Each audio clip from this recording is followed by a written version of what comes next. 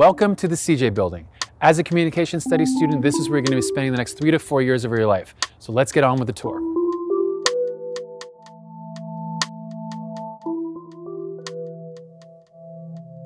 Hi, I'm Leia and I'll be your guide for today. This is one of our three production studios that can be used by students who borrow equipment from the depot to make any kind of projects that they might want to do. And this room is convertible. You can use a blue background or a green screen, so the possibilities are really endless. What happens in here is all students who are doing their technical instruction, like camera setup, camera lighting, uh, learning how to use a sound recorder, it's all done in here with a group of students. It's also the perfect opportunity to actually do group work together.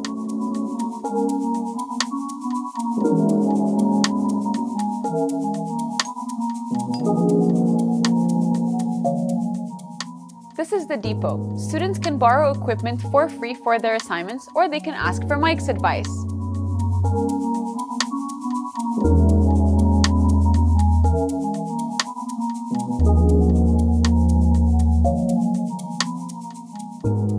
So this is one of four uh, sound editing suites. Uh, we here teach the latest in industry standard software, specifically like Pro Tools. So our sound graduate students, when they're done, they can be ready for the workforce uh, working in the sound field.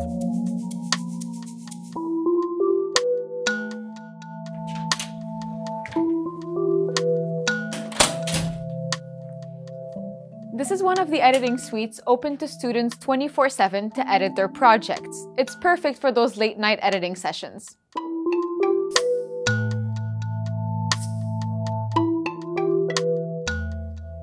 These are the intermedia labs. Each computer is equipped with the most up-to-date softwares to keep up with everybody's creative ideas. Students work really hard in here.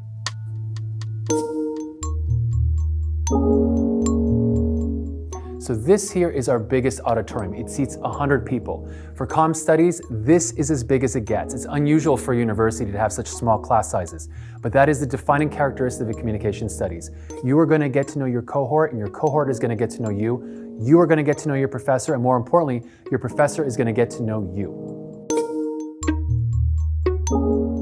This is one of the common areas in the department known as the hot dog lounge. Can you guess where it got its name?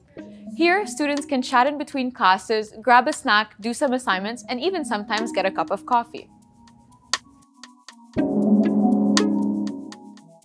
So as a student here in CJ, you will be walking around noticing a lot of old Montreal signs.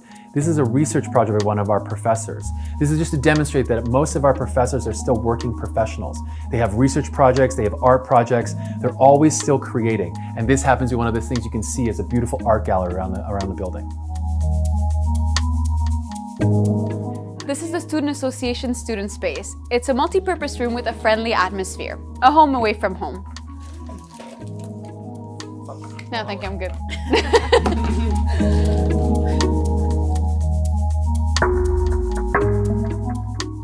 As a member of Concordia, there's a lot more to discover than just the CJ. We hope this tour has been informative for you and we look forward to seeing you in the fall.